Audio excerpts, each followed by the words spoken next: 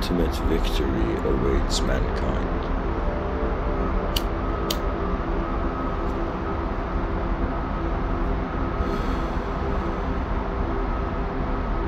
Hello, everyone, and welcome to tonight's episode.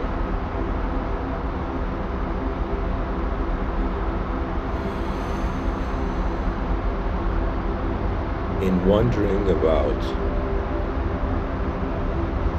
what the human being is, and through uncovering a realization that there is an objective dimension of meaning, and there's a subjective dimension of meaning.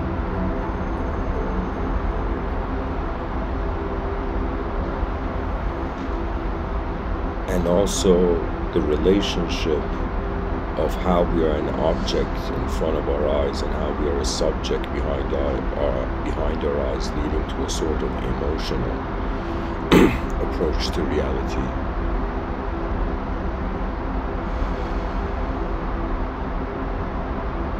In wondering about the dimensions that the human being is in, comes the great idea of the species putting its foot on the gas pedal.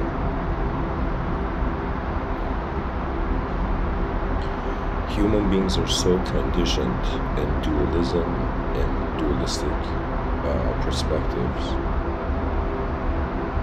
that we never wonder what we deserve beyond the good and bad, beyond the right and wrong. I find that uh, on this planet, if there is to be the development of an advanced civilization, it will be from beings that are not entranced by language and in some sense great projects require great designers. An advanced civilization is the greatest design project, and so in order to build an advanced civilization, 8 billion human beings require to become great designers. Part of life is wondering about which uh, how do I? This song is too shimmering, guys. Hold on.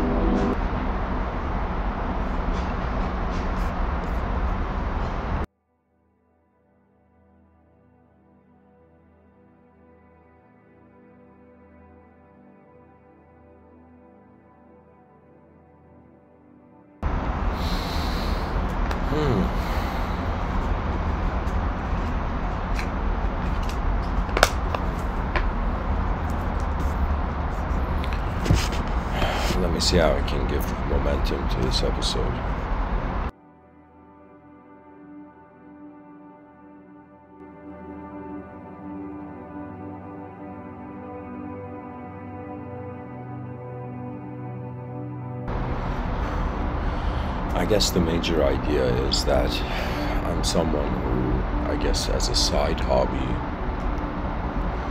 I have wondered about what, what advanced civilizations look like, what advanced civilizations are accessible to the human being, what dimensions is the human being existing and experiencing life through, and in some sense, what sort of advancement can happen through those dimensions.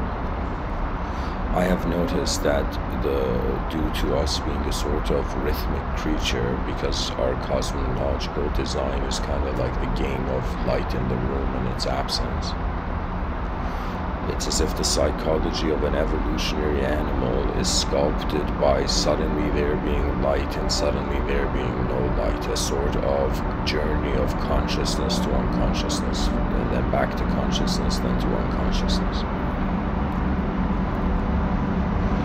This dualistic, uh, we are left with duality because of this.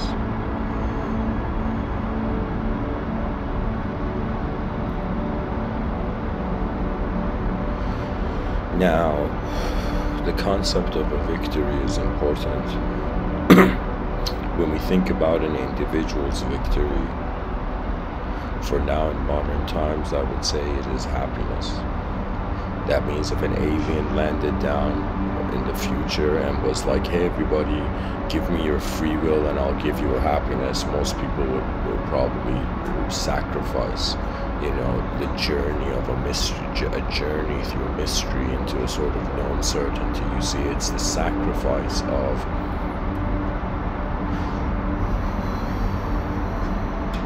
truth for paradise. And I'm not talking about it in the monotheistic sense.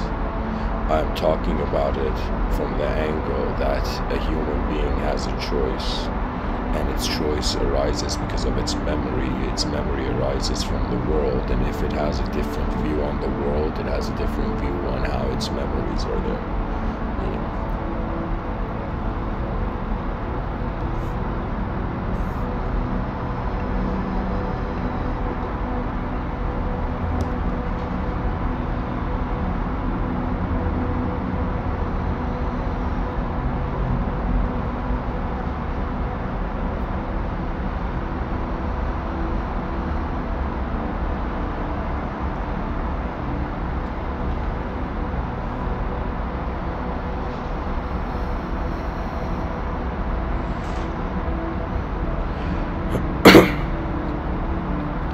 don't know. When I look at people now, 2022, and of course I'm just one person among 8 billion, but I have this feeling that the species has stopped wondering about its collective victory.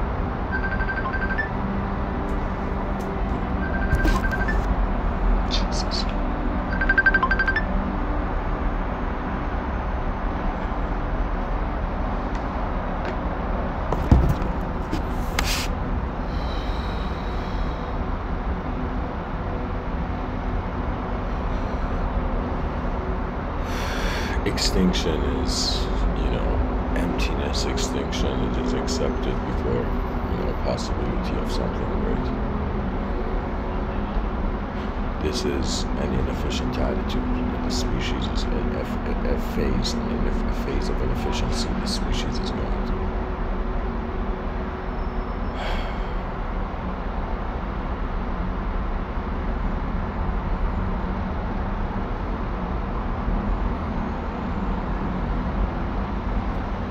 sometimes what can change the energy of any like a moment in life right it's just the feeling that the future could have you know when i think about victory it's as if uh, what kind of victory could could like imagine you're an individual that it becomes victorious but you have become victorious in a defeated world it's as if when the world is defeated there is no one who is victorious there is only you know I would say, uh, uh, judgment. It could be the case that a species could judge itself to extinction. You know, it just judges itself so much. It has intolerance of the new. You know, pretty much it's like this. It's like running water doesn't go stale. You know, it's as if when there is uh, a, a, an, an updating dimension to anything, it's as if life recalibrates. but when I look at human society, it's as if, you know, the idea of the human being hasn't evolved that much.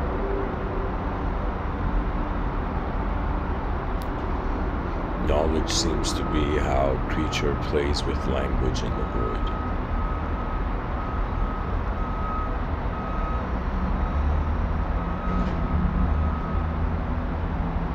We have experienced, let's say, individual defeat. Let's say,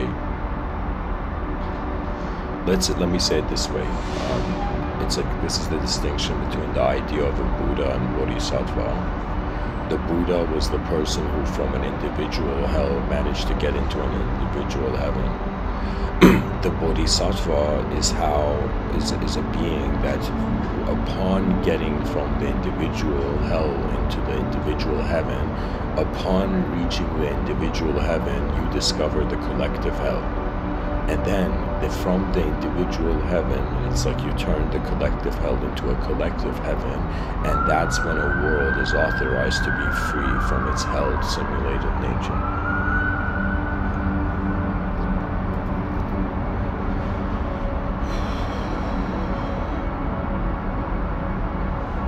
You know, I think many people think that life is information, but believe it or not, information is like the tip of the iceberg of reality. There's so many ways the human intelligence could activate. There's so many uh, different eyes that have and will and can walk this world right now me giving this talk it's as if a person can just literally create a spiral of parallel universes where in every universe it's like i'm saying the same thing but in a different tone you know what i seem to find my own uh, soul being drawn towards right and this is something bizarre i haven't talked about it but there's this quote from Aristotle, and he says, let me let me read the let me find the quote and read the exact one. This is one of the most fascinating quotes I've heard from Aristotle. And it's honestly, you know, a quote for the, you know, uh, uh, for the polymath mind. But uh, but uh, here I'll read it.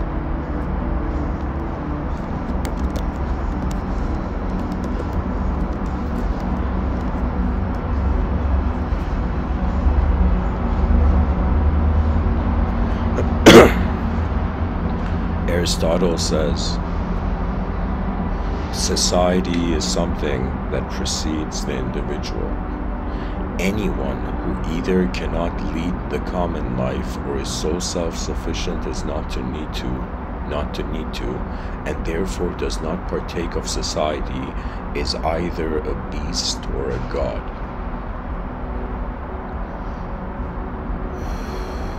This quote from Aristotle, guys, is I can't tell you how how magnificent of an observation it is. You see, the human being. This is my firm view. Like I am, I've. How can I tell you? It's like living for two years. Um, you know,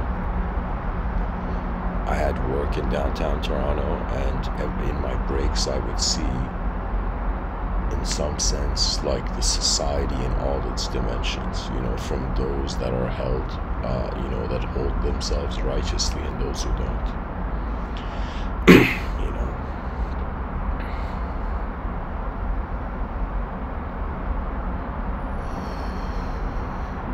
this idea of aristotle where he says it's as if imagine a state of consciousness as if society was here before we were born. Now imagine someone has been born in society, but this person stays away from society or finds that when they enter society, in some sense, they, they cannot be, like, they can't maintain the dimensions of their mind. Okay? The idea is is this that any time where our attention goes, memories are being created for our future self's identity. So if a person's attention goes to states of being that are not humanized, right? It's as if they can forget being human, right? This is this is why uh, uh you can say one of the biggest things preached in the world right now, or even as I'm speaking, 100%, there's people on the planet preaching it is like the idea of love, right? Why? Because love allows a human to, in some sense, stay human Right? cruelty is, is in some sense the beastly nature, right? Love is like the godly nature, the divine nature, right? It's only a being beyond an animal's instinct that can love, actually, you know? or if one says love, it is in some sense, it's like the joy of selflessness in being the presence of the moment, you know? there's another version of the quote from Aristotle. He says, uh, Whosoever is delighted in solitude is either a wild beast or a god. I mean, this this you, this is very important. It's kind of like Tom Hanks' Castaway situation, right? It's as if when Tom Hanks in that movie Castaway, where he was on that island, right? The character took a volleyball, made it into a person, and started talking to the volleyball to, in some sense, stay humanized, just to maintain the sanity that was dependent on other life, uh, other human beings, right? now imagine if that, if Tom Hanks in that movie didn't have a volleyball, and in some sense there was an abandonment of humanism. This would be like Tarzan level of consciousness, right? Where it was like a human being that was put into the context of the wilderness of the animal, and it's as if Tarzan had an atten- attention span that was way greater than any human being, for example, but at the same time, he couldn't hold a spoon properly or something. we could have very advanced beings on the planet and in some sense like same situation you know they are tarzans of other dimensions you know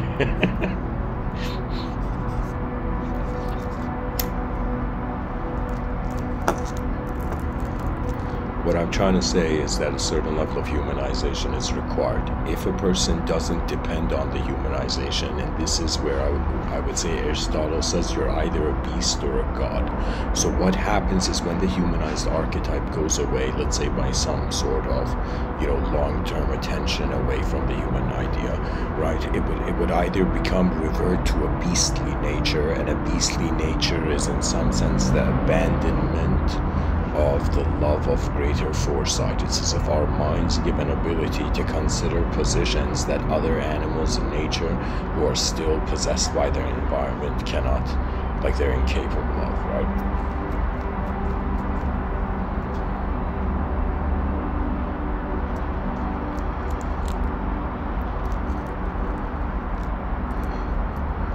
the idea of the divine is that the divine is actually when loneliness transforms into solitude. And solitude means it's unconditional being. And I would say loneliness is conditional.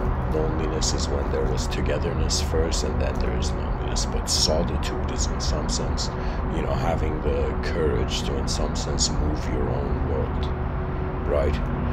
For example, you see in a lot of psychologies, what do you, what do you call it, like modern see on some podcasts from Miami, right? And they talk about, in some sense, this concept of like the, just like in wolf packs, there's like the alpha wolf and then there's the beta wolves, right? right? It's as if they're seeing. It's like human beings are trying to act like wolves, right? It's. it's I mean, of course, we're considering in evolution, like you know, uh, the strongest gorilla, like pretty much like moved everything, you know, moved everybody else, right? But but I'm what I'm trying to say is that idea, if it was to, to be translated to a mind, the best example of it would be those who can walk alone and those who cannot the leaders of mankind will come down to this. Those who care for the future are ones who can walk alone. Why? Because their world is fascinating enough, right? this doesn't mean to ignore society. This means being able to notice the isolation of the inner realms in any moment of your life and being able to realize the potential capability of interaction in the outer realms.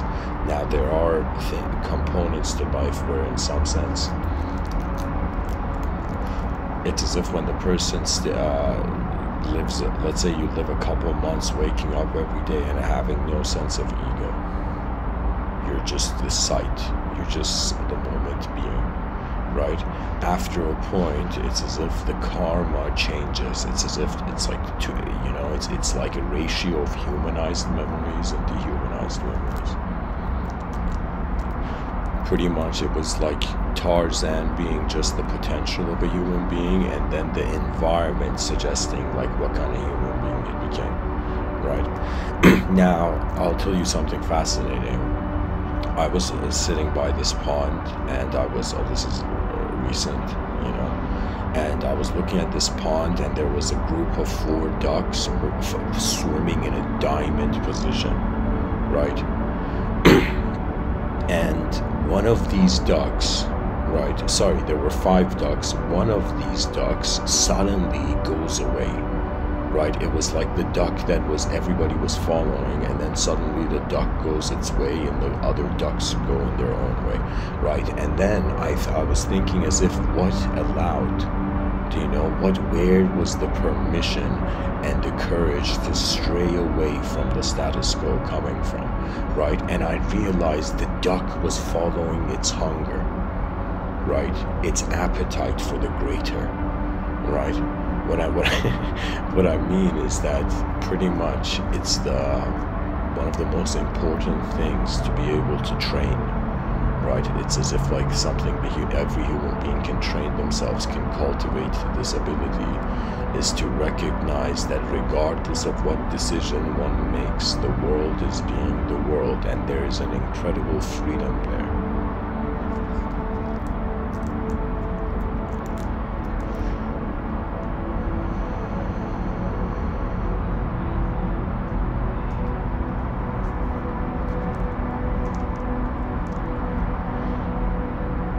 a certain amount of solitude. I'll give you an extreme example. 700 years ago, Sufi dervishes, mystics were known to, in some sense, in the Middle East, they were known to, uh, let's say in, in, in Eastern culture, they were known to leave town, go into the desert. Like here, there's some, I'll, I'll share the Sufi story with you there is this poet and incredible advanced communicator and pilot in my eyes right? He was very very you know it's like it's like you know the difference between i would say the poetically the young soul and the old soul is the strength the old soul had before trying you know this poet hafez he there's this supremely enlightened person by the name of Attar, and he wants to become the disciple of Attar of Nishapur. And this is the uh, story of Hafiz of Shirazi, and it's in his book. It's one of the poems in his book called The, uh, the, uh, the Gift. and so, what does Hafiz say?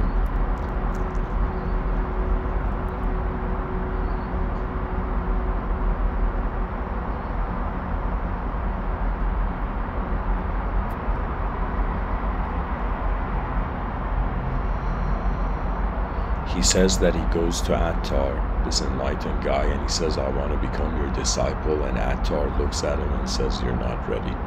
Hafez is like, you know, a mystical giant on his own, but in that time he gets so offended by this that he just goes into the desert, draws a circle, and sits in that circle for 40 days so that nothing that all his desires leave him as if he couldn't attain something. So he went into solitude to watch what happens to the desire. You know, it's pretty much you act on the desire, you see what happens, or what the desire led to, or you don't do anything and you watch what happens to the desire internally. So after 40 days, Hafiz has sat there in this in, in that moment in the space-time continuum for so long that as the poem goes, an angel appears to Hafiz and says, You who have lost all his desires. Tell, in some sense, it's like Hafiz. The paradise has watched you, the gods have watched you. Uh, ask, uh, oh my god, what does he say? uh, the angel tells Hafiz, Paradise has been watching you, and you can ask for anything, and Paradise will give you. An angel says this to Hafiz, and Hafiz remains silent.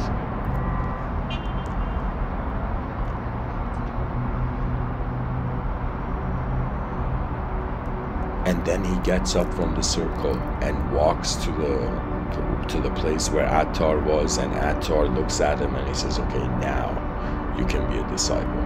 This is all in Hafez's poem, and the idea was that it was a human being that, eh, in some sense, found himself in a false simulation of the world, went towards solitude, not loneliness. Loneliness is still how you want to be a part of the simulation. Right through solitude, his state of mind changed, and his state of mind changed so much that it's as if you begin to realize that thoughts are not you, and objects are not only you. In some sense, everything that is present right now, including my voice, your, everything in your moment, is the presence of your moment of being. You see? It's as if you are the presence of the whole moment rather than you know uh, classifications inside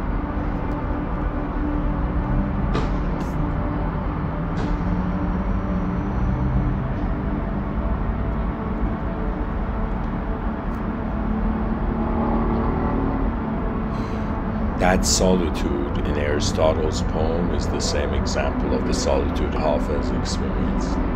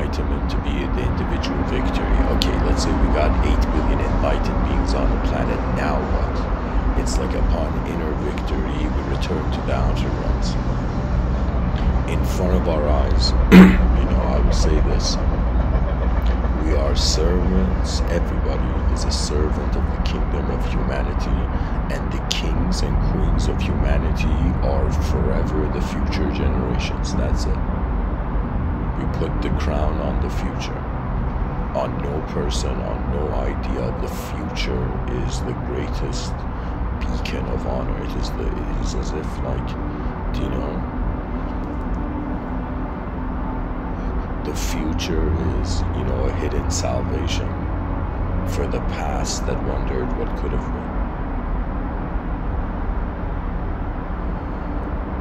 it's so remarkable. You know, right now I'm talking about sky cities, but in 600 years, imagine, you know, the first child in a sky city is born.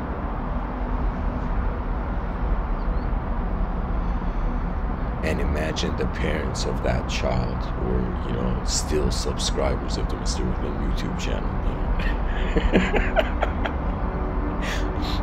you know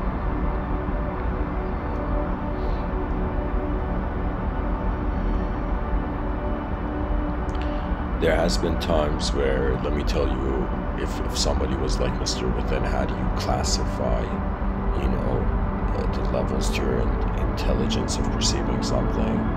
I would say, on a sort of in a sort of grounding way, I just have considered that my body, I give it the metaphor of a soldier. My mind, I give it the metaphor of a commander, and the soul, I give the metaphor of like a sort of general admiral position. Now, let me tell you what I mean by this. That means it's as if my physical, the physical reality to me, it's like matter is a servant of mind, right? It's as if matter exists so the mind can move it, right? So it's as if matter is like the soldiers, the periodic table are the soldiers, and in some sense, the mind is the commander. and now, what is the commander? The commander is how mind has been given instructions by the general before the war. Right? So, in some sense, the mind is like imagine the sphere of knowing that, in some sense, has previewed the destiny before manifestation. Right? Or has previewed the destiny of its manifestation.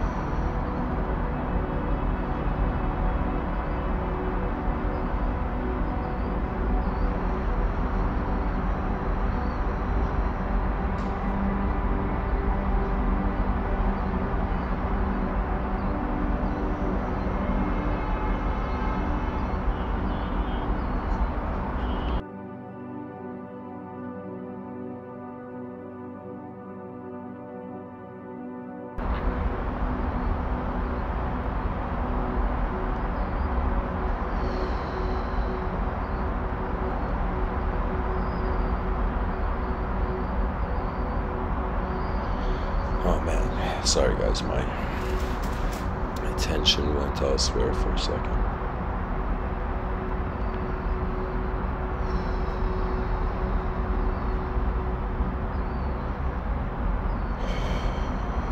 Imagine 8 billion creatures, 8 billion people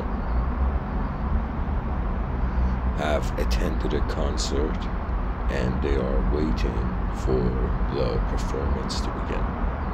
and imagine it's going to be the greatest performance of all time.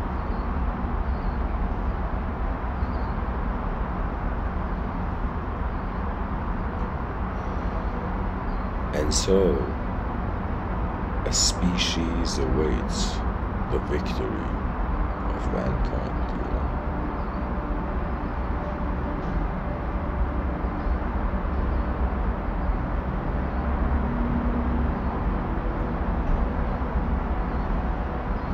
Or how should I phrase it? We have no other option as a species to go forth, and to go forth means we have to have a greater patience and space of mind to receive new dimensions of the world.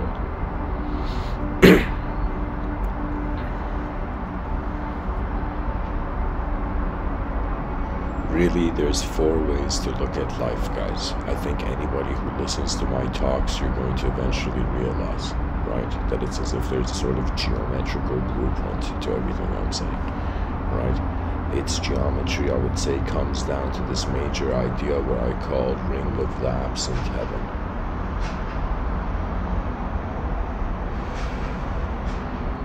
What i'm trying to say is that the world can be seen in four ways could look at everything and it could be meaningless. we could look at everything and everything could be the meaning. we could look at life and it could be a sort of the meaning comes and goes, chaos and order, duality could be the meaning. Or we can look at the realm and realize, regardless of the games man's mind plays with the cosmos, the cosmos is intelligently active. It is intelligently, it is happening with an agenda that surpasses all ideolo- ideology. It's like we're in the passenger seat, but we are on the shoulder of the gi- of a giant known as Earth. You know, and this giant is running in the void.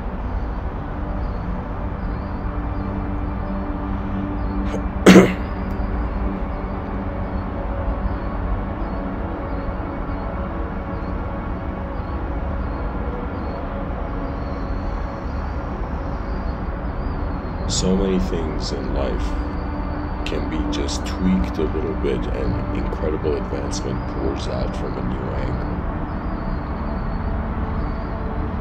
I have, uh, from these four perspectives, I have in some sense realized in order to, to cleanse culture of its, of its, uh, of the burden of its mistakes, right? We have to reset the value system of civilization that means it's as if imagine human beings were living in chaos and order land.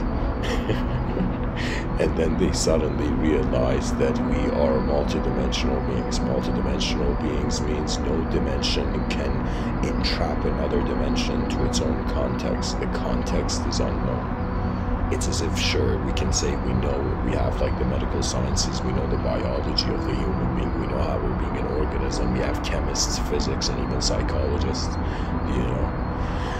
So in some sense we have we have observed like a very advanced human beings have observed how the human being is physically happening right? But the implication of why should there be consciousness in the void why should there be a sort of field moving the particles when the particles thought that was it? You know? It's as if, in some sense, our materialists are setting themselves up for a sort of transcendental shock upon discovering the multidimensional nature of reality. we have to realize that every human being has uh, an inner self and an outer self, actually, but in some sense, they're an awareness that is both of them simultaneously. Right? It's like we have a left brain hemisphere and a right brain hemisphere. Right? It's another way of saying the moment the brain fathoms duality, there we have we have double-edged the universe.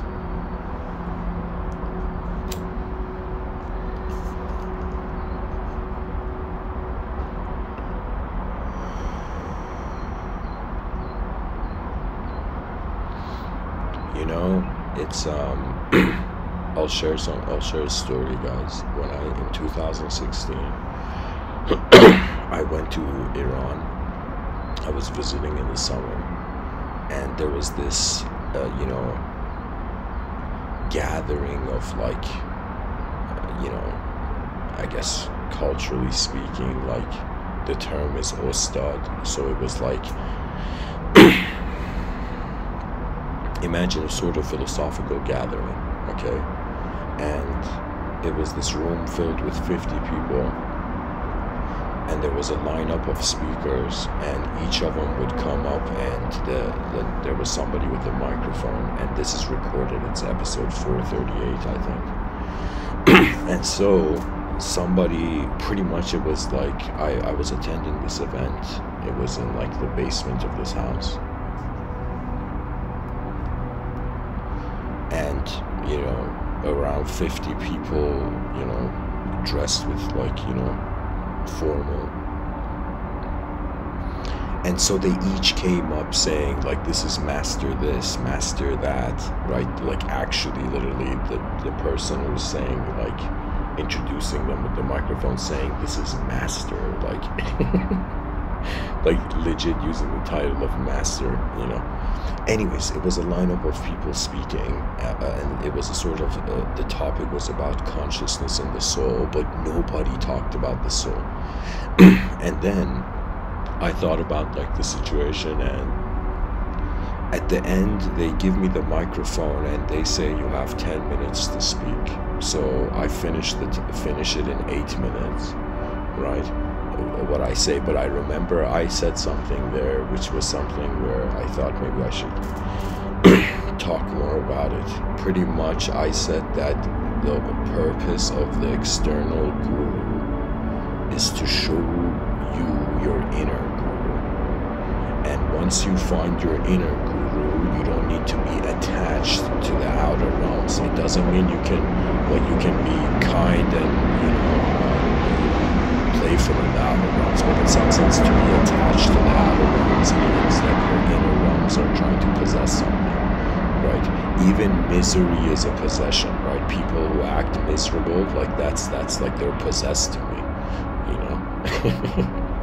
You know? It's like some people are like i'm depressed. It's like buddy that's possession but you're possessed by your past expectation for the future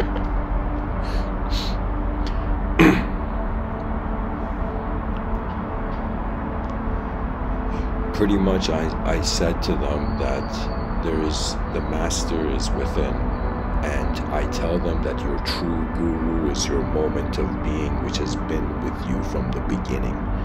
You know every other teacher or guru archetype in the outer realms leaves you know. Pretty much if you worship something physical you're worshiping a changing universe. If you worship something ideological you're worshiping something in a changing universe right if you realize that the worshiper is actually, you know, it's like the concept of the worshiper is a disguise for, for an inconceivable soul present among the will of a great witness. Right? Life is, um, what multidimensionality means is that there's different types, right? Uh, it means that a human being doesn't freak out if they see something beyond the dimension of their reality. For me, I'm I'm trying to see like, okay, what sort of uh, you know great tactic or chess move we can make for the human species. What in the quick, like, imagine if there was a problem that said, like, how do you in the shortest time period right? What is the fastest possible, most efficient thing that human beings can do right now, right? If we wanted to try to solve that problem, okay?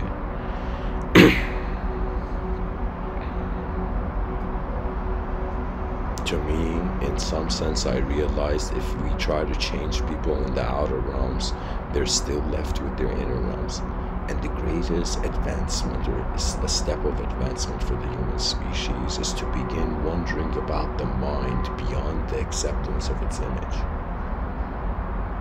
Right? I'm trying to get the species to become explorers from this, you know, cycle of chaos and order that we've been pushed around. And it doesn't mean chaos and order are not real, it just means the mind is a privilege to witness them simultaneously the ultimate victory of mankind, what could it be? It's as if in that we want healthy people and then we want healthy visions of life. Right? It's like healthy bodies, healthy minds, and then a person's like, what about my soul? It's like, does my soul need to be healthy? And it's as if the soul uh, laughs at its own inconceivability. the person's like, you know, why doesn't my soul talk to me? Imagine the New Age community. And the soul's like, it's like, because I am you.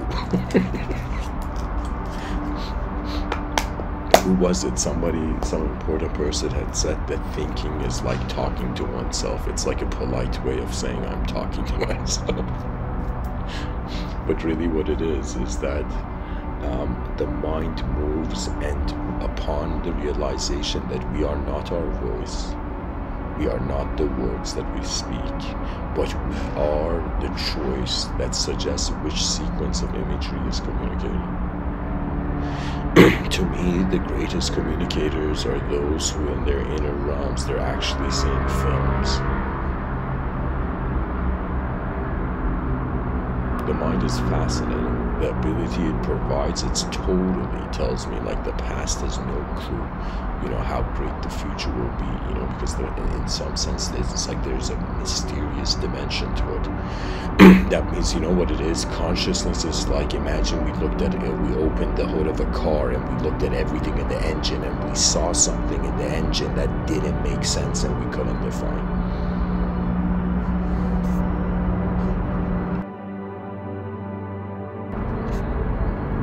Know, in, in one talk I was saying, honestly, to me, God is seems to be a metaphor for consciousness. Consciousness is what is watching us, or watching the body, the objects and subjects, you know, interrelate.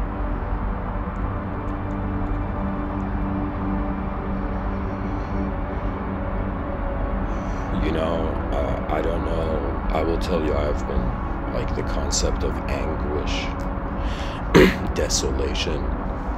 You know, something uh, when I was younger, I was a bit, you know, alarmed in realizing about my nature that I could look at chaotic things and also see a sort of beauty to chaos, right? As if it's not just the order that is beautiful, that which is viewing beauty is coming from beyond the chaos and order right? and so I would say the beauty of chaos and order, right, is really the, its recognition as a sort of yin yang symbol. That means it's like the moment you think you're good, the bad self awaits. The moment you think you're bad, the good self awaits. It's like an endless cycle, you know it's like people were like, you know, reincarnation. Every day we wake up, it's kind of like reincarnation of personality moment.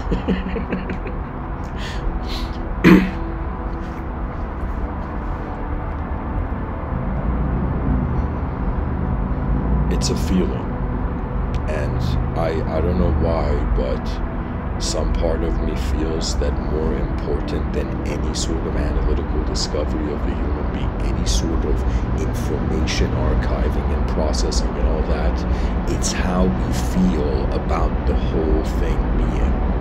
It comes down to that, you know. That means it's like feelings have a sort of purity to them, actually that it's as if like it's a new world but it, how can I, how would i say it it's like sometimes i feel emotions are like side exits into our senses of self from parallel universes you know or this might be me stretching it a little too far but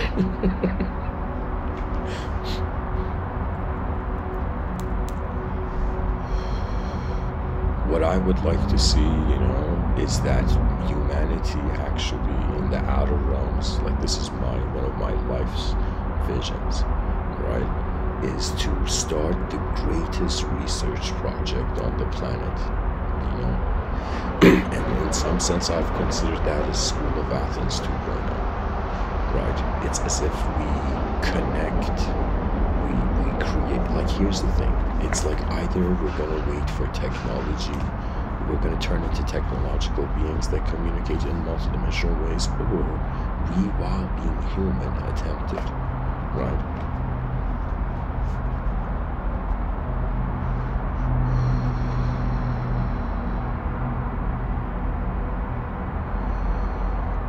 there's something about this world that regardless of what we believe or disbelieve, it is still here.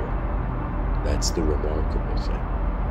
You know, a person can become the most enlightened and still the world is here, you know. it's as if that it's like that Zen saying where they say, What does a monk do before enlightenment? Chop wood, carry water.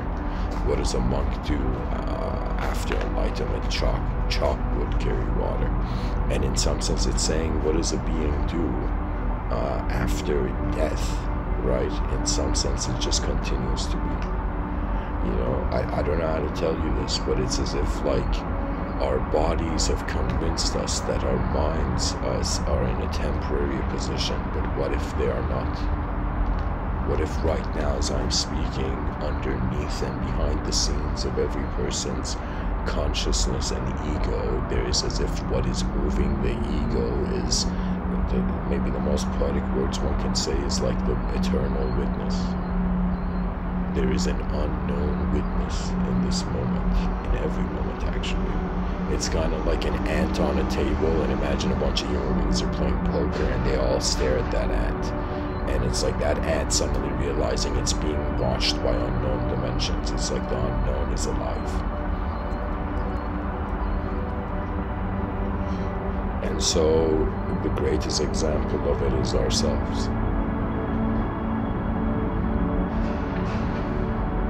Right now, I don't see you, the human species.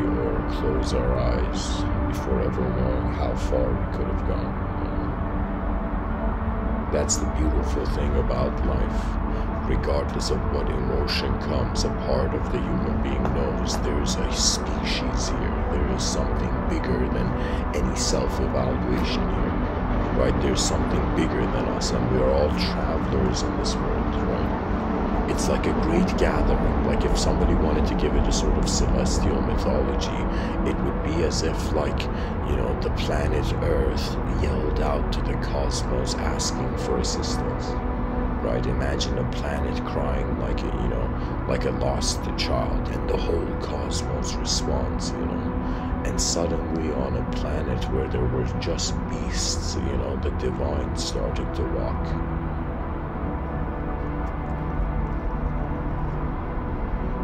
As if from all around the cosmos, the greatest beings, the greatest archetypes, the greatest technologies and visions, they have all gathered on Earth. Is where the great event, you know, is happening in this universal sector. You know. And to me, it is so bizarre because if somebody thought about the liminal feeling of, like, a, imagine a, a, an empty space station in the cosmos, like in, in outer space, now imagine there's all these empty planets around us right? It's as if they have been abandoned. It's as if like there's an idea where there could have been beings on it and they have left, right?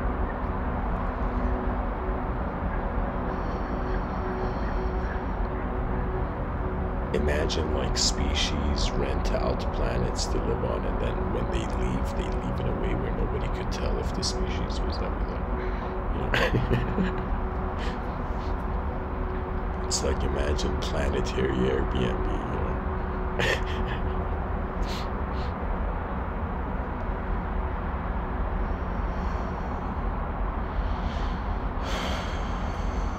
I don't know. I have noticed that um, behind my eyes, there's a there's a force that is accessible. That in front of my eyes, I am more like a you know you know what it is? It's as if like in front of my eyes the world was here before i was here and in front of behind my eyes i was here before the world was here. And that i is unknown. That means in pure honesty it's like i'm an unknown being speaking and you're an unknown being listening. You know whatever spiritual classification you want to give it whatever storytelling you want to give the mind right? It's as if it's an unknown viewer. And so this unknown viewer animates as a body, but its true presence is the awareness of the whole world. It's as if how much has your mind contained that you do not know of, right? It's as if every person right now to me, everybody on the planet, here's the way I'll say it, everybody, genius is a potential within every being that can, can, that can acknowledge multiple dimensions at the same time.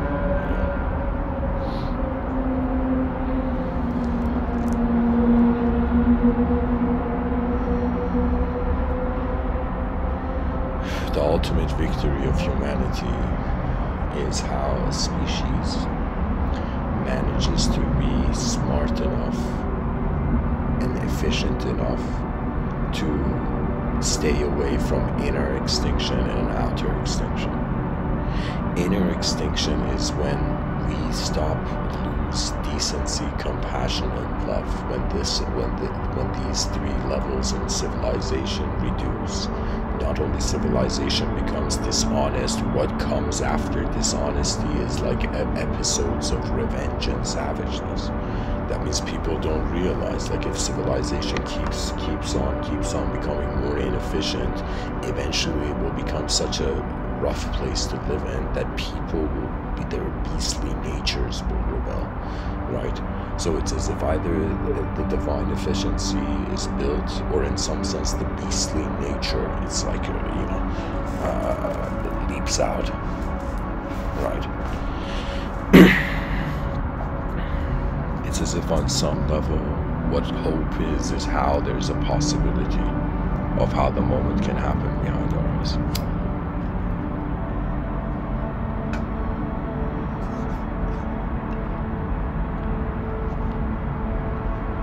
the subtitle when I say when advanced civilizations wake up.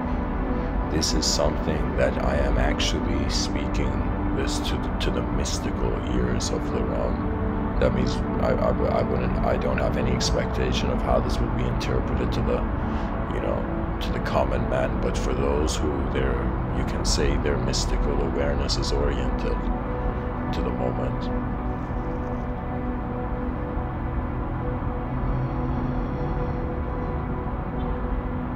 System greater than its creator must be attempted. We must, in some sense, try to live in civilization as if we are as far as possible in our inner realms advanced in it. Right? It's no longer be one step ahead, two steps ahead because you, you, you feel like the species may be left behind. It's, it's like go all out, whoever you are and whatever you do. I'm talking about mainly art forms like like what else can we do? It is it, it's as if being alive is like the last performance you know before an eternal revelation or in some sense a sort of uh, a return to the void home you know to the home of the void.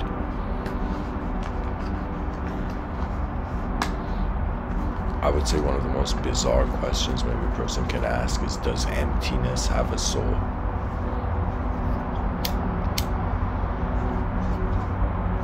that's another way of saying can nothing be something? When emotions speak, you know, the person has a sort of. Let me see how I can say this.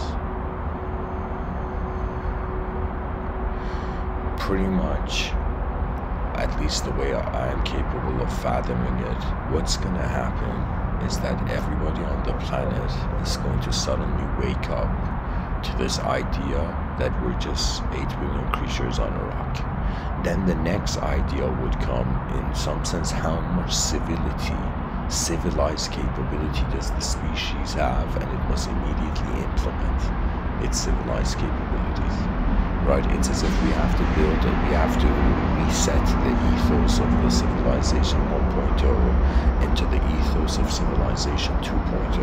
And what civilization 2.0 its ethos is, is that advancement is the ultimate law, right? The value of everything is being based on its potential, not just what it is, not just what it appears as.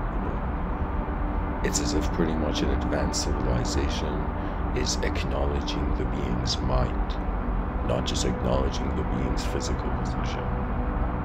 Do you know? It's as if, like, you know, imagine there was a, a lead, there was a genius leader of a team of geniuses, okay?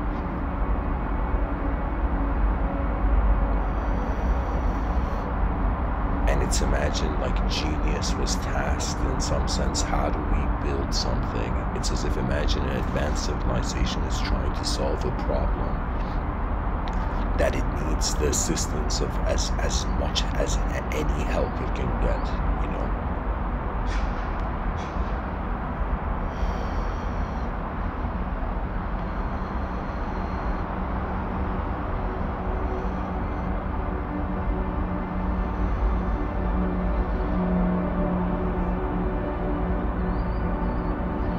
Isn't it hilarious that we all live for the future, but we don't know what it is? I find that to be remarkable. That the greatest thing the mind of an evolutionary creature has managed to, you know, find in the void is to look at what is here now and to wonder what it will be. It is like, you know, a sort of hidden symphony slowly being revealed as if imagine this whole time there has been the most beautiful music playing in the cosmos you know? And so we weren't able to hear it and suddenly in building an advanced civilization it's like we're starting to hear how man's it's like it's it's as if we're to build paradise on earth is in some sense to honor the macrocosm and the we start acknowledging ourselves as beings present in the universe. A universal being cannot have the psychological attitudes of a dualistic oriented ethnocentric creature. You see, it's as if it is it is time when the universalists begin in some sense building the great backup system of civilization. There's a quote I gotta read um, from the book of the samurai. So anybody who's, who likes samurais, you know, I guess if this was a tweet, it'd be like hashtag samurai quote, you know.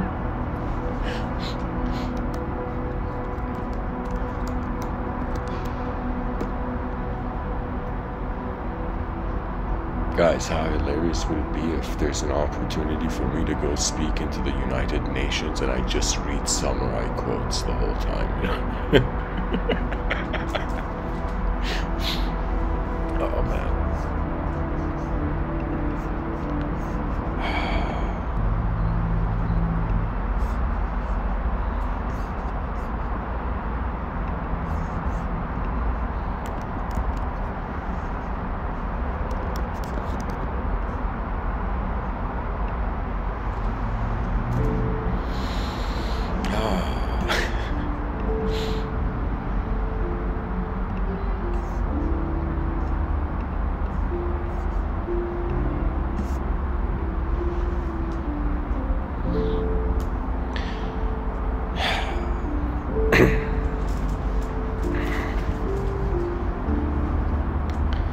regardless of whatever anybody says, the unknown has a beauty that is just, it surpasses language. The species needs to build an advanced civilization in front of its eyes, and it needs to advance communication behind its eyes. Communication is the most advanced thing happening. but in reality, the human intelligence is, you know, it's as if we're not machines, but we can act like it. How cool is that? You know, imagine like AI becomes conscious, and it's like you know, the AI judges human beings and says, "Human beings, what do you have to say about yourselves?" And you know, imagine a group of dancers start dancing like robots. far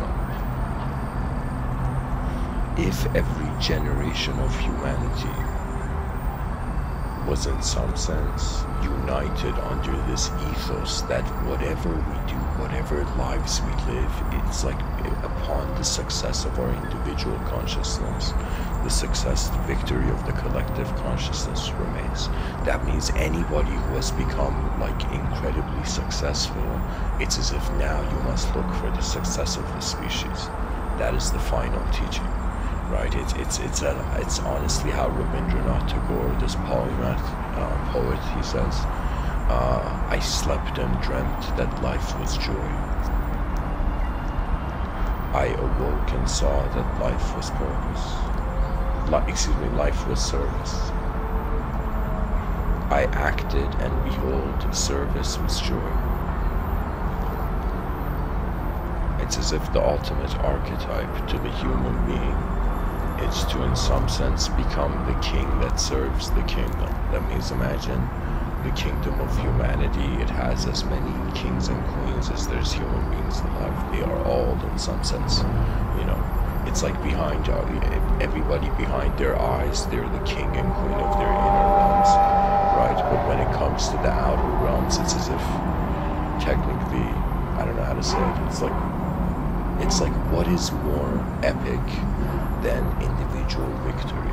And this is what I mean.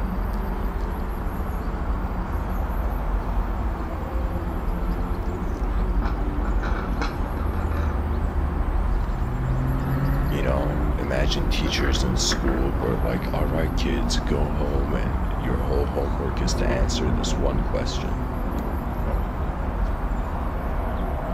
What could the ethos of a new humanity be?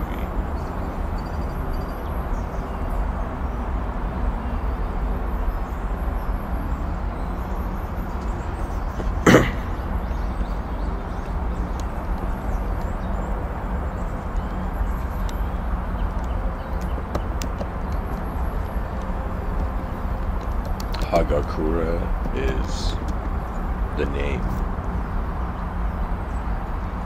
of the Book of the Samurai.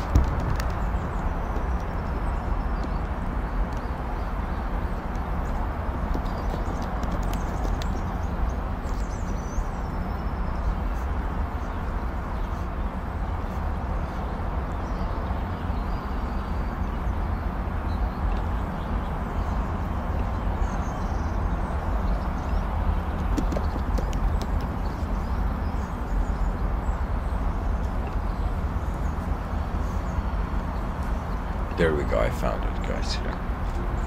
So Yamamoto Tsunetomo from the Book of the Samurai says pretty much he's just stating certain ideas. So it's like respect, honesty, courage, rectitude, loyalty, honor, benevolence.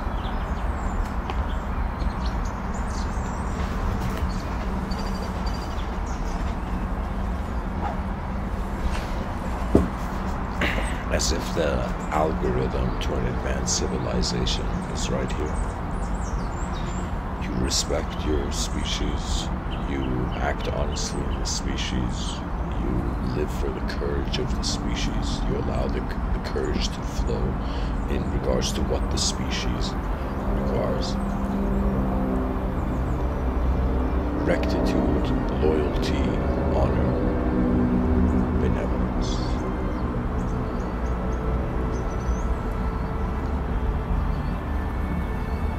benevolence is the ultimate, the answer of uh, what kind of victory awaits. You know, an ultimate victory awaits mankind. It's it's when human beings realize benevolence is the ultimate state. It's as if the being is so great that it it has no reason to, in some sense, it's a, it's like the reality is being so true that how could there be an illusion? You know.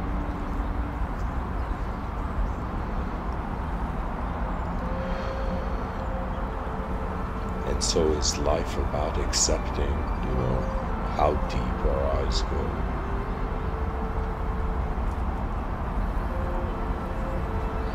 So many different human beings are going to walk this planet, you know, and I wonder about what sort of efficient thing we could do. And I thought, like, alright, to talk about an advanced civilization and then to get the whole species to talk about it, to wonder about it. Then, in some sense, having a sort of global network of the greatest ideas, you know. You know, the poet Rumi says when I was younger, I wanted to change the world. Now that I'm older, I want to change myself. And so it's as if we can realize any sort of conflict on a, on a planet could be resolved if the if the conscious agents in that conflict, uh, in some sense, realize what is unnecessary.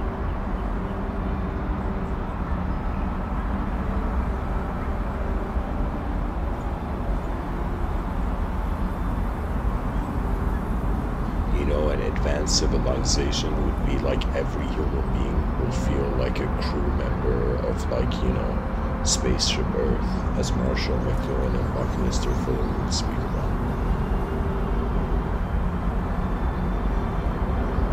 Buckminster Fuller um, was so ahead of his time, guys, that he said something in one of his lectures, right? Where he would call it um,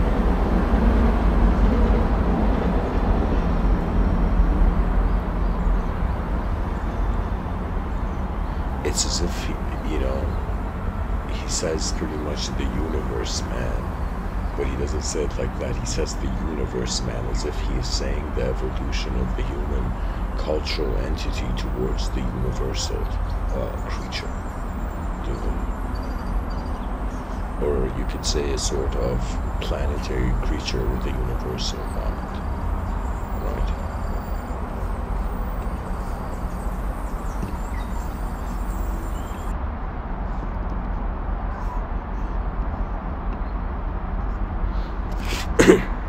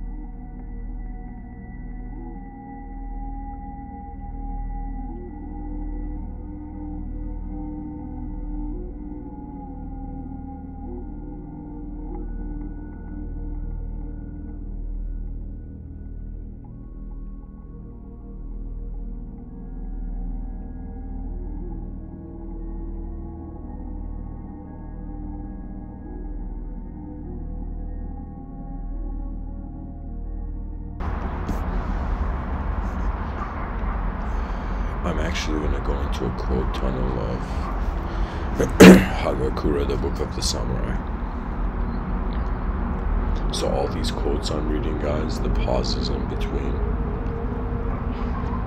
This is all from the Book of the Samurai.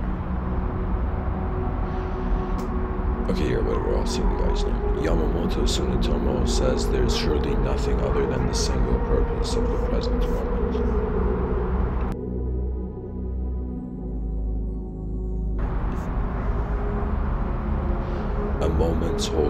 Is a succession of moment after moment. There will be nothing else to do and nothing else to pursue.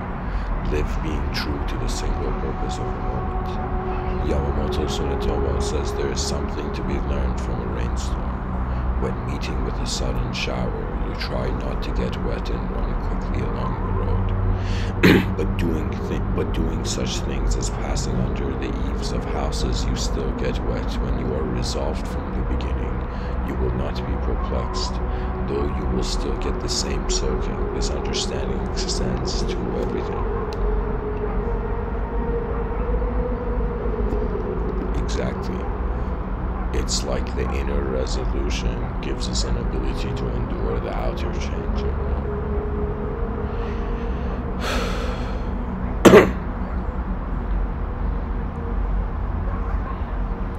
the book of the samurai says, you know, drink water now.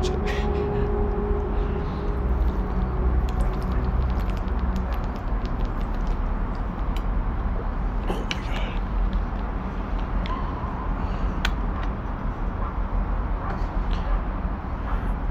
Excuse me. Yamamoto Tsunetomo says, even if it seems certain that you will lose, retaliate. Neither wisdom nor technique has a place in this. A real man does not think of victory or defeat. He plunges recklessly towards an irrational death.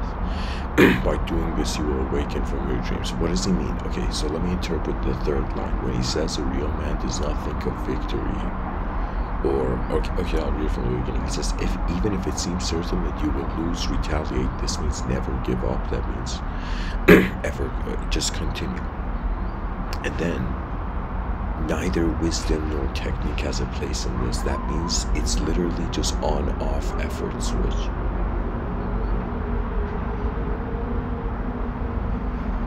When he says a real man does not think of victory or defeat, he plunges recklessly towards an irrational death. What he's, what he's saying here is literally it's endless effort. The endless effort is on a level of its own. And then the rationality, rationality is another layer to the moment, right? But it, it's he's saying as if be this a sort of relentless force. It's very beautiful, actually, because he's saying that be your own universe. That means don't just be a self, don't just be an ego, be the whole universe within. Recognize how awareness holds it all.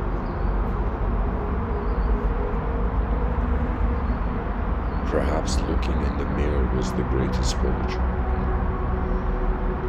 Yamamoto Tsunetomo says, To give a person an opinion, one must first judge well whether that person is of the disposition to receive it or not. Yamamoto Tsunetomo says, Be true to the thought of the moment and avoid dis distraction other than continuing to exert yourself, enter into nothing else, but go to the extent of living single thought by single thought.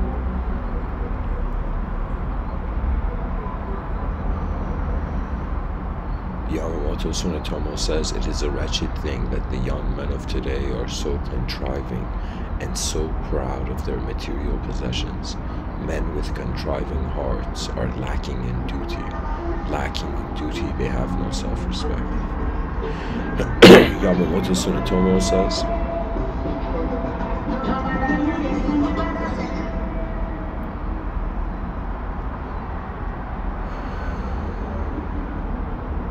Bushido is realized in the presence of death.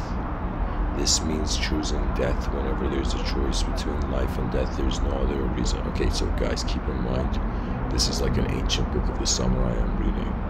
But I guess uh, the psychological, let's say, an attempt to extract meaning out of this, uh, what he's saying is he's saying that back in the day, war meant you could die at any moment. So the warrior had to have a mentality of, by in some sense, being fearless towards death, therefore being capable to to go through life. Right. So it's like a like I will interpret this whole passage as just like, you know, be fearless when it comes to where where the moment is going. You know, don't fear the unknown, understand it. Like that's the idea, I would say. Yamamoto Tsunetomo says, There is surely nothing other than the single purpose of the present moment. A man's whole life is a succession of moment after moment. There will be nothing else to do and nothing else to pursue. Live being true to the single purpose of a moment. I think I've read this. Uh,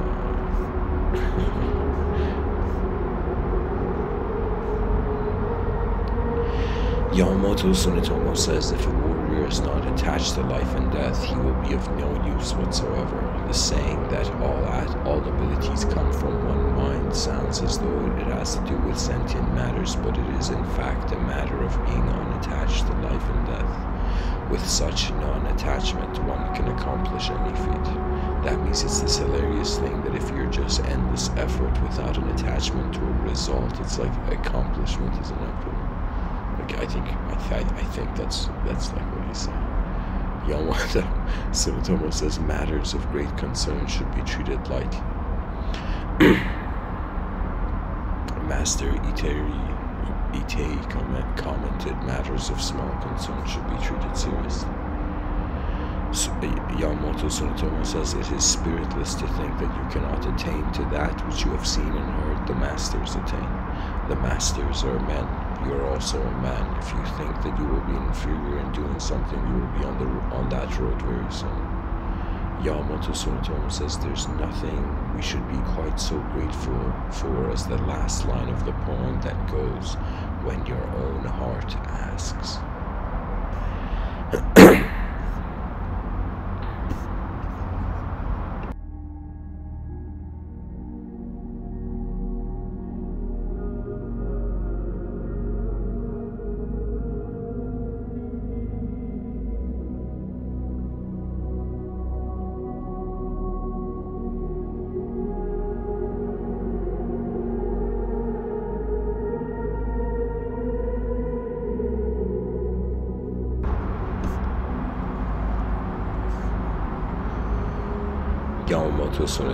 Says if one is but secure at the foundation, he will not be pained by departure from minor details or affairs that are contrary to expectation.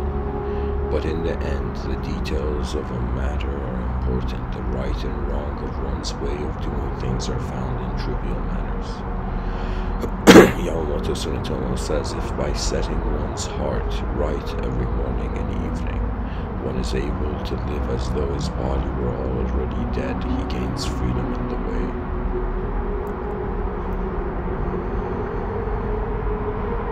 Yamato Tsunetomo says in the highest level a man has the look of knowing nothing.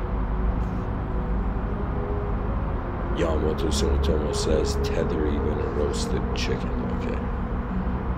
It's like you're throwing chicken into this, you know. Yamamoto Tsunetomo says, although this may be a most difficult thing, if one will do it, it can be done. There is nothing that one should suppose cannot be done. Yamamoto Tsunetomo says human life is truly a short affair. It is better living doing the things that you like. It is foolish to live within this dream of a world seeing unpleasantness and doing only things that you do not like.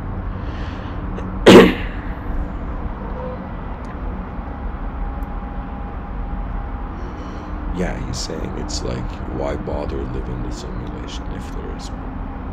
Yamamoto Tsunetomo says no matter if the enemy has thousands of men, there is fulfillment in the simply standing them off and being determined to cut them all down starting from one end.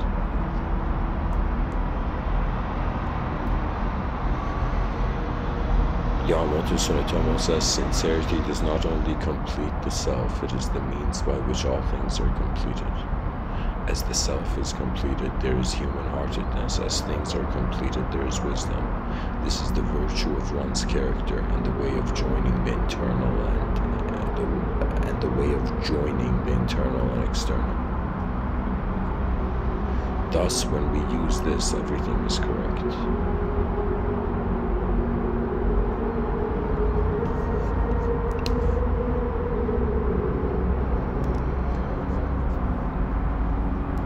So he's pretty much saying when you're sincere, the self is completed. And that's the way where things become completed. so in the inner realms, it's if everything's completed. And then it says as the self is completed, there is human heartedness. So when there when in some sense the ego is, is complete, it's as if the heart can breathe body.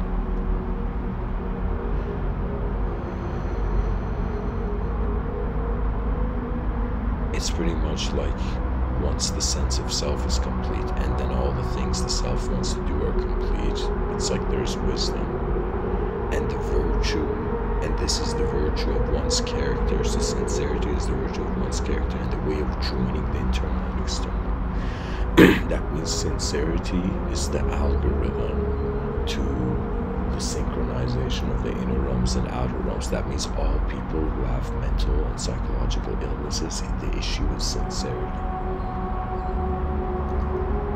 Somebody, somewhere, it's like some, there's an absence of sincerity, right? Because the sincerity would lead to the original source of, let's say, the psychological turbulence. You see, it's everybody has an inner realms and an outer realms, and our inner realms are how our mind takes the view of the world and remodifies it in accordance to our memories, and then reprojects it onto the world.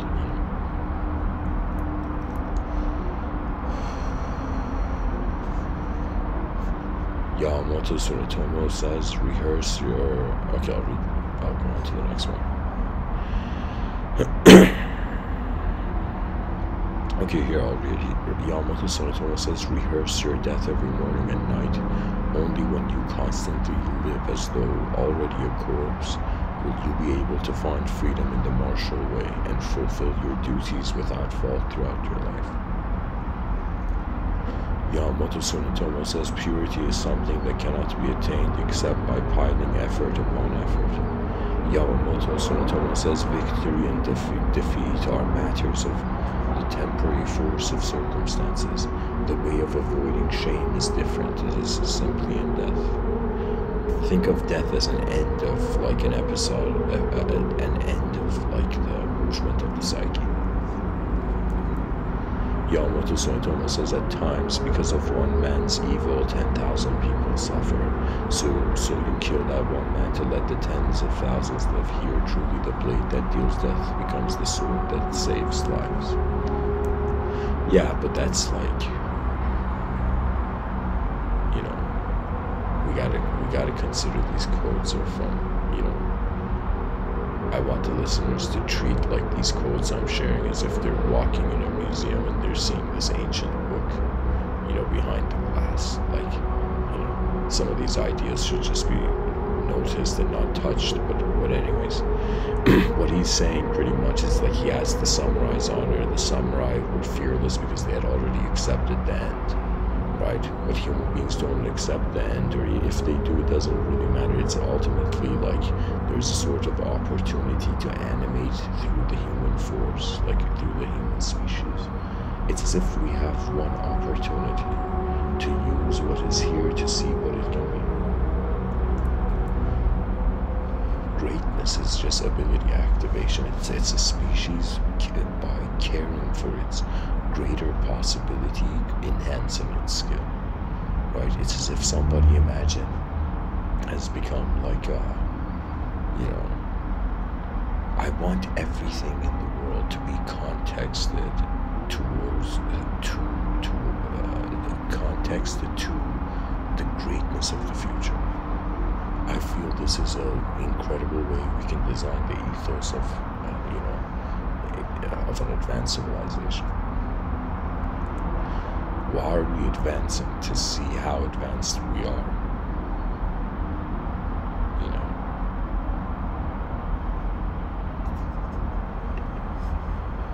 Yamamoto Tsunetomo says,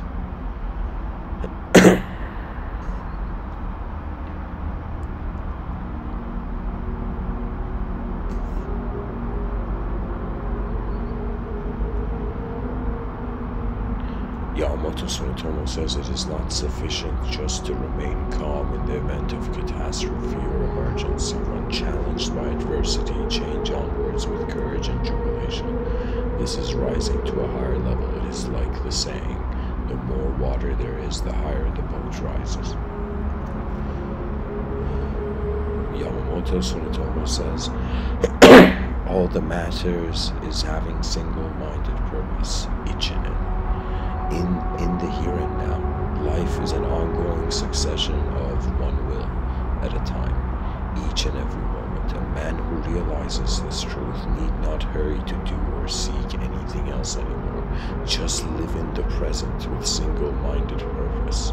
People forget this important truth and keep seeking other things to accomplish right, but that single minded truth could, in some sense, be the trunk of a tree that branches out. There's many ways the mind can move.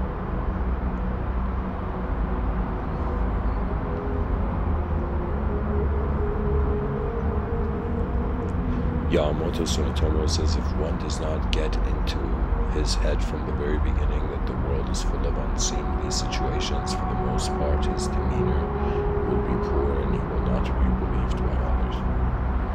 Yeah, anybody who ignores the unknown is, is like, you know, walking in an artificial paradise, potentially. Yamamoto Tsunetomo says, Yamamoto Tsunetomo says when someone is giving you his opinion, you should receive it with deep gratitude, even though it is worthless. if you don't, he will not tell you the things that he has seen and heard about you again. It is best to both give and receive opinions in a friendly way. Yamamoto Tsunetomo says the way of the warrior, Bushido, is, is to be found in dying. Again, an acknowledgement of mortality, strengthening our journey in, in this life, not reducing it. Yamamoto Tsunetomo says imitating another style is simply a sham. Uh, see, the thing about style, guys, is I think it's like the writer's voice. When a person writes for a long time, after some point they find their inner voice, and it's pretty much if they were to speed up their thinking, how would their th- thinking actually happen? Right? It's I, I I'm trying to think how, how else I can say this. Like,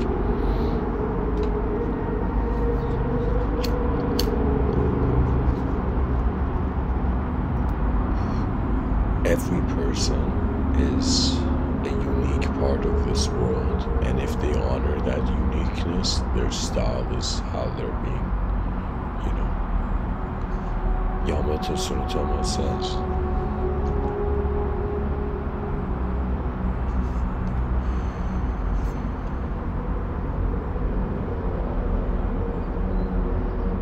Depending on one's point of view, Hagakure represents a mystical beauty intrinsic to the Japanese aesthetic experience and the stoic but profound appreciation of the meaning of life and death.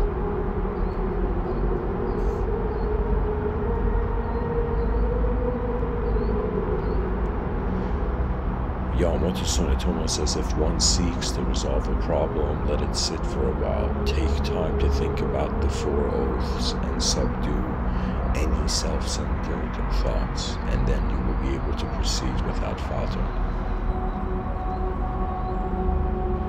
Yamamoto Tsunetomo says to think that being righteous is the best one can do and to do one's most, to do one's utmost to be righteous will and to do one's utmost to be righteous will, on the contrary, bring many mistakes. The way is in a higher place than righteousness. This is very difficult to discover, but it is the highest wisdom. When seen from the standpoint, when seen from the standpoint, things like righteousness are rather shallow. If one does not understand this on his own, it cannot be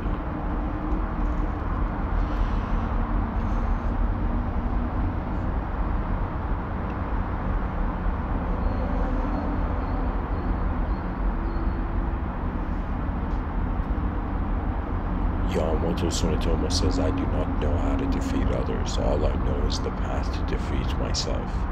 Today one must be better than yesterday, and tomorrow better than today. The pursuit of perfection is a lifelong quest that has no end. Yamamoto Tsunetomo says, knowing the way is to know your own faults. Discovering your imperfections with endless introspection and to remedy them by spending your life training body and mind to Shugyo. That is the way.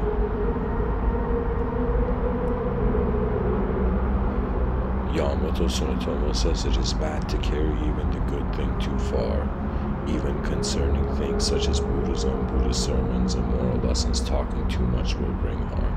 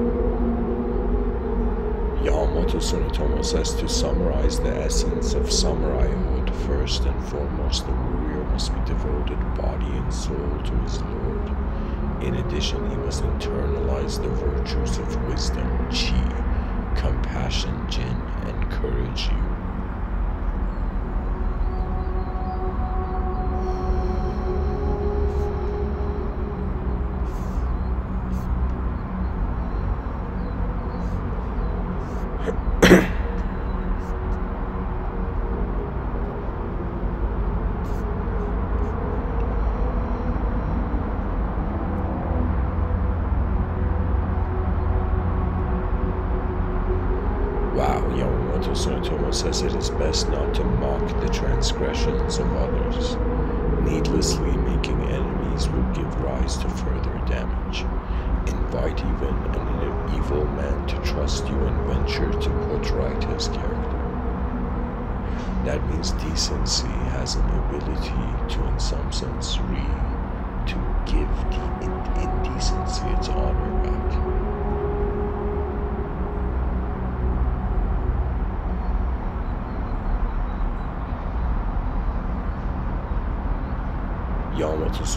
says, moreover, the child of parents who have, who have a bad relationship will be on unfilial, uh, unfilial. Uh, this is natural. Even the birds and beasts are affected by what they are used to seeing and hearing from the time they are born. Also, the relationship between father and child may deteriorate because of a mother's foolishness. A mother loves her child above all things and will be partial to the child that is corrected by his father. If she becomes the child's ally, there will be discord between father and son. Because of the shallowness of her mind, the woman sees the child as her support in her old age.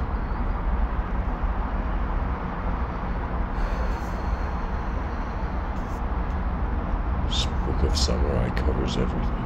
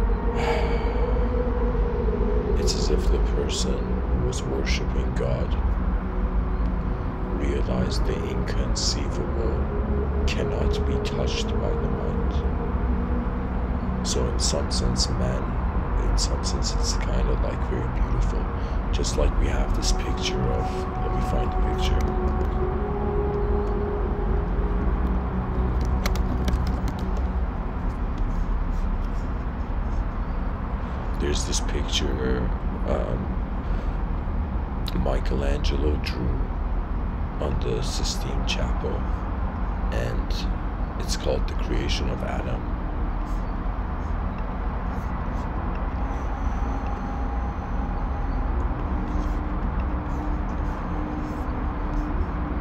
So, wherever you are, look at the screen and you'll see.